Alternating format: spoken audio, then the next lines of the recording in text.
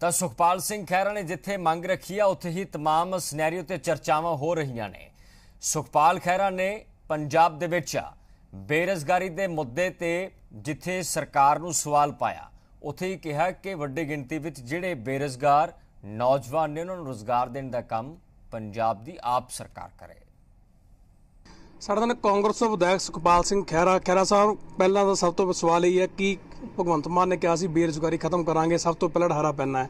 ਉਹ ਬੇਰੁਜ਼ਗਾਰ ਨਹੀਂ ਚੱਲੇਗਾ ਤਾਂ 25000 ਨੌਕਰੀ ਜਿਹੜੀ ਉਹ ਦਿੱਤੀ ਜਾਵੇਗੀ। ਇਹਨੂੰ ਕਿਸ ਤਰ੍ਹਾਂ ਦੇਖਦੇ ਹੋ ਅੱਛੀ ਨੂੰ ਗੱਲ ਹੈ ਜੀ। ਅਸੀਂ ਚਾਹੁੰਦੇ ਹਾਂ ਕਿ ਪੰਜਾਬ ਦੇ ਵਿੱਚ ਬੇਰੋਜ਼ਗਾਰੀ ਨੂੰ ਬਿਲਕੁਲ ਨਕੀਲ ਪਾਈ ਜਾਵੇ ਜ਼ਿਆਦਾ ਤੋਂ ਜ਼ਿਆਦਾ ਬੱਚਿਆਂ ਨੂੰ ਰੋਜ਼ਗਾਰ ਮਿਲੇ ਤਾਂ ਕਿ ਉਹ ਵਿਦੇਸ਼ਾਂ ਵਿੱਚ ਜਹਾਜ਼ਾਂ ਦੇ ਜਹਾਜ਼ ਭਰ ਕੇ ਨਾ ਜਾਣ।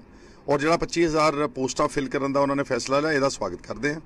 ਪਰ ਸਿਰਫ ਇਹ ਚਾਹੁੰਦੇ ਹਾਂ ਕਿ ਜਿਹੜਾ 25000 ਇਹ ਪੋਸਟ ਫਿਲ ਕਿ ਫਿਲ ਅਪ ਕੀਤੀ, ਇਹ ਕੰਟਰੈਕਟ ਬੇਸਿਸ ਨਹੀਂ ਚਾਹੀਦੀ ਕਿ 3 ਸਾਲ ਸਾਡੇ ਬੱਚੇ 10-15000 ਤੇ ਨੌਕਰੀ ਕਰਦੇ ਰਹਿਣ ਤੇ ਉਸ ਤੋਂ ਬਾਅਦ ਇਹਨਾਂ ਨੂੰ ਰੈਗੂਲਰਾਈਜ਼ ਕੀਤਾ ਜਾਵੇ। ਮੁੜ ਕੇ ਫਿਰ ਧਰਨੇ ਲੱਗਦੇ ਨੇ, ਮੁਜ਼ਾਹਰੇ ਲੱਗਦੇ ਨੇ ਐਜੀਟੇਸ਼ਨ ਹੁੰਦੀਆਂ। ਸੋ ਵੀ ਐਕਸਪੈਕਟ ਕਿ ਇਹਨਾਂ ਨੂੰ ਪਹਿਲੇ ਦਿਨ ਤੋਂ ਹੀ ਸਰਕਾਰੀ ਨੌਕਰੀ ਪ੍ਰੋਪਰ ਜਿਹੜੀ ਪੱਕੀ ਮਿਲਣੀ ਚਾਹੀਦੀ ਹੈ। ਦੂਸਰਾ ਕਿ ਸਰਕਾਰੀ ਨੌਕਰੀਆਂ ਲਗਭਗ 4 ਲੱਖ ਦੇ ਕਰੀਬ ਪੰਜਾਬ 'ਚ ਨਾ। ਇਹ ਸਾਰੀਆਂ ਪੋਸਟਾਂ ਇਹਨਾਂ 'ਚੋਂ ਬਹੁਤ, ਮੇਰਾ ਖਿਆਲ ਗਲਤ ਨਾ ਹੋਵਾਂ ਤਾਂ ਲਗਭਗ 1 ਲੱਖ ਨੌਕਰੀ ਵਿਹਲੀ ਪਈ ਹੋਊਗੀ।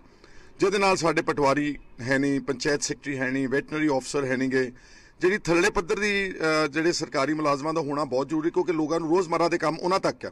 ਬਹੁਤ ਥੋੜੇ ਲੋਕ ਨੇ ਜਿਹੜੇ ਚੰਡੀਗੜ੍ਹ ਬੈਠੇ ਜਾ ਕੇ ਸਕੱਤਰਾਂ ਨੂੰ ਮਿਲਦੇ ਨੇ ਜਾਂ ਵਿੱਤ ਵਿੱਤ ਸਕੱਤਰ ਨੂੰ ਮਿਲਦੇ ਆ ਚੀਫ ਸੈਕਟਰੀ ਨੂੰ ਮਿਲਦੇ ਨੇ। ਇਸ ਕਰਕੇ ਥੱਲੜੀਆਂ ਨੌਕਰੀਆਂ ਭਰਨੀਆਂ ਬਹੁਤ ਜ਼ਰੂਰੀ ਹੈ ਜਿੰਨਾ ਵੀ ਉਹ ਅੱਛਾ ਕੰਮ ਕਰਨਗੇ, ਉਹਦੀ ਅਸੀਂ ਸਪੋਰਟ ਕਰਾਂਗੇ।